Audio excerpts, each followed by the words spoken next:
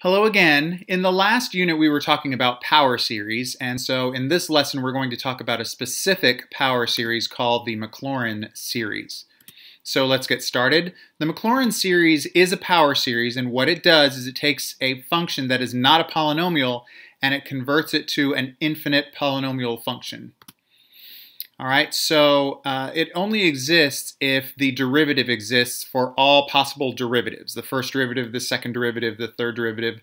Um, it will exist as long as I never run into an error when I take uh, the derivative of that function.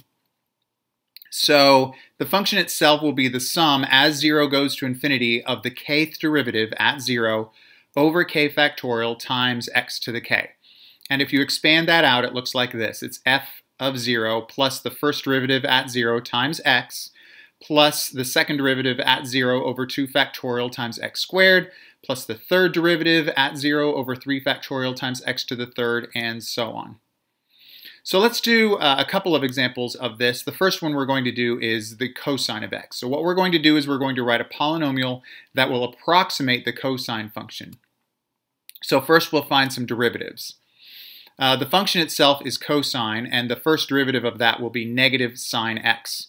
The next derivative will be negative cosine x, the derivative of that will be sine x, and the fourth derivative will get us back to cosine x. And as you know, the cosine function does cycle through those four functions uh, with its derivatives. So now what we need to do is plug in 0 because remember we're evaluating all of the derivatives at x equals 0. So the function itself will be worth 1. The first derivative will be worth 0. The second derivative will be worth negative 1. The third derivative will be worth 0 again. And the fourth derivative will be worth 1. All right, so there's my generic expansion of a Maclaurin series. So I'm just going to replace all of those f's and all of those derivatives with the numbers that I found, and this is what I get. And once I write that down, what I can do is I can see if anything can be simplified. And in this case, anything that has a zero in it uh, is going to evaluate to be zero, so I don't need to write those terms. I just need to write the 1 and the minus x squared over 2 factorial and the x to the fourth over 4 factorial and so on. All right, so there's the generic term right there, and that's all of them being summed up. So uh, the cosine function can be approximated um, or can be written as k goes from 0 to infinity of negative 1 to the k times x to the 2k, because we're really only using the even exponents of x. And all of that goes over 2k factorial because we're also only using the even factorials. All right, let's do another example. This time we're going to be approximating the uh, natural log of 1 plus x. So first we'll find some derivatives. There's the function. The first derivative of that will be 1 plus x to the negative 1. Take the derivative of that, and you will get negative 1 plus x to the negative 2.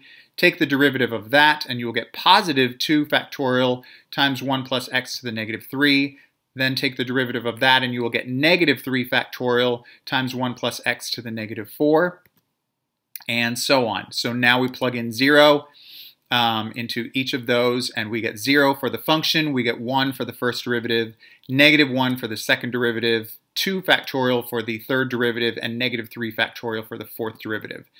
So once I take that general formula for the Maclaurin series, I plug in those numbers everywhere I see an f of x or a derivative, and I get this. f of x is 0 plus 1x, and so on. And then again, I look and see if there's any uh, anything that can be simplified. And that zero really doesn't need to be written, but everything else I do need to write. And notice how the factorials are canceling out.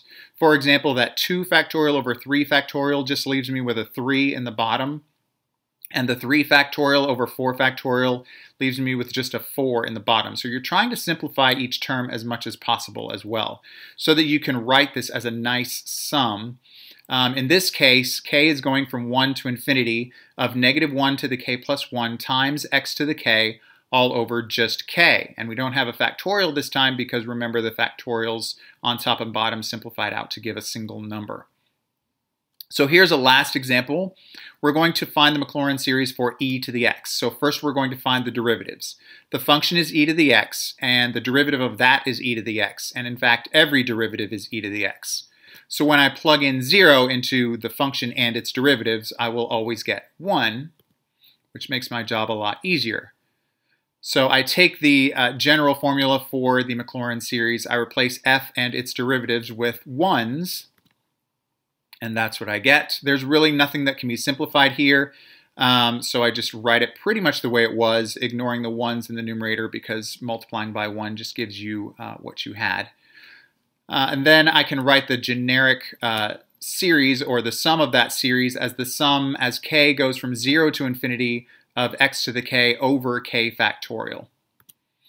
All right, so watch what happens when we add more terms to the Maclaurin series. If it goes on to infinity, then it matches the function exactly. But if I stop anywhere along the way, it's only going to approximate that function.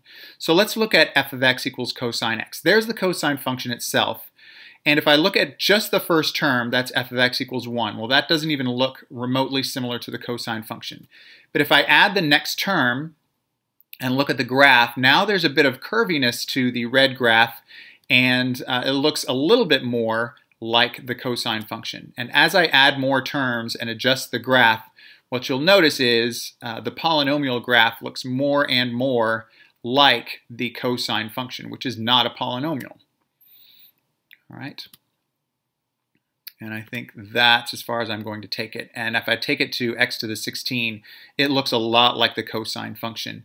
Um, and obviously, if I kept going, it would look even more like the cosine function. All right?